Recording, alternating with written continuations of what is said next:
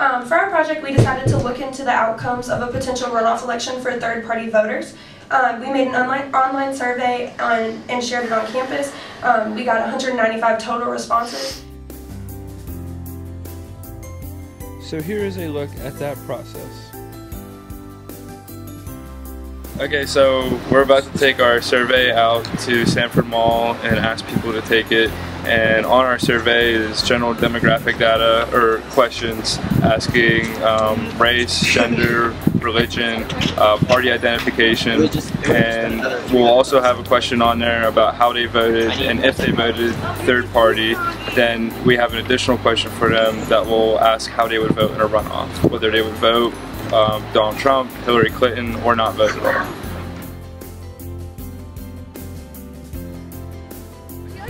Survey? For runoff data. Sure.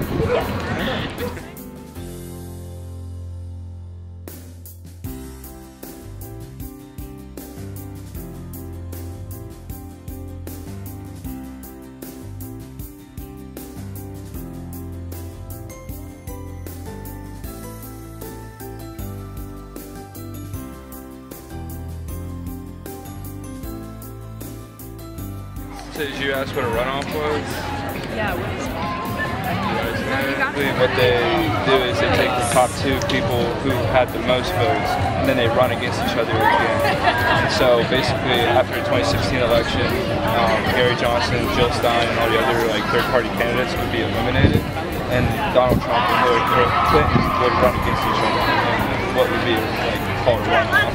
And so our like big question is, is like, where would third-party voters vote if they did vote for like Gary Johnson or Jill Stein? Or Like would- if they were put into a situation. Right. Would they vote for Trump, Clinton, or would they not vote at all? So that's, that's basically what we're, you know, using our strategy.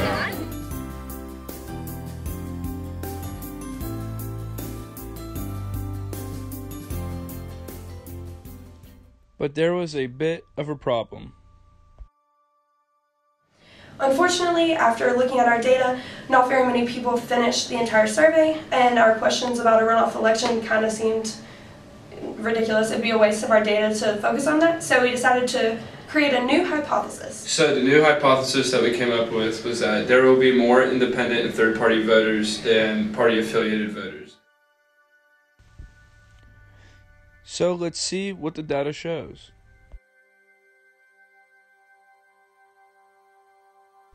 In Figure 1, Participants' Race, you can see the breakdown of respondents by the race that they selected. Out of the 195 responses, 1 was Asian, 8 were African American, 6 were Hispanic or Latino, 1 was Native Hawaiian or Pacific Islander, 9 were other, and 4 preferred not to answer. Our majority selected white with 163 respondents.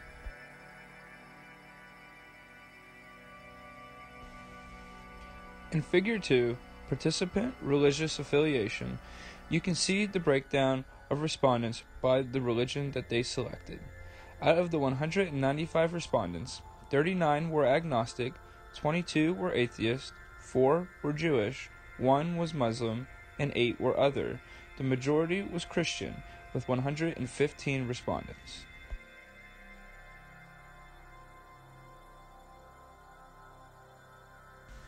In Figure 3, Participant Vote Choice, you can see how respondents voted in the 2016 election.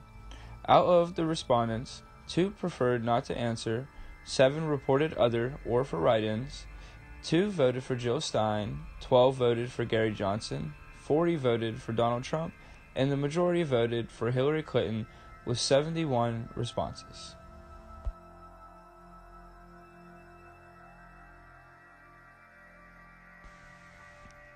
In Figure 4, Participant Party Identification, you can see the reported party affiliation of the respondents.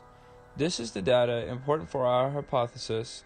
Out of our respondents, 16 were Libertarians, 32 were other, 64 were Republican, and by a small margin, the majority were Democrats with 78 responses.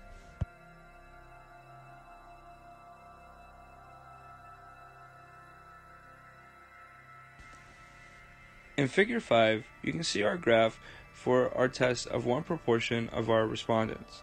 The participants chose non third parties 142 to 48 times over third parties. The test statistic is large enough to be confident in this result, with z equaling 7.95. This result means that our hypothesis of there would be more third party voters than non third party voters was wrong. This also means that the test of one proportion for our sample is large enough to determine that the United States population as a whole will most likely choose non third party identification.